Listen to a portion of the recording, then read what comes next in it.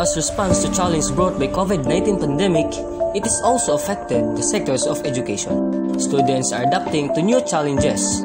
Over the last few years, in the world of upside down, schools around the world were closed.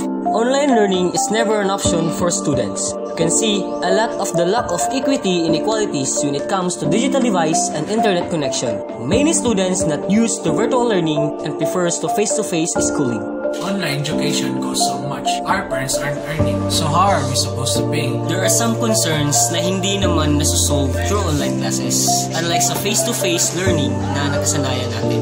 Even though students are at their homes, they can also give time to their family. They are safe and can contribute to stop spreading pandemic. Para sa iyo, worth it ba na ipagpatuloy ang ganitong paraan na pag-aaral? Hanggat may COVID-19, we need to find ways for learning to continue.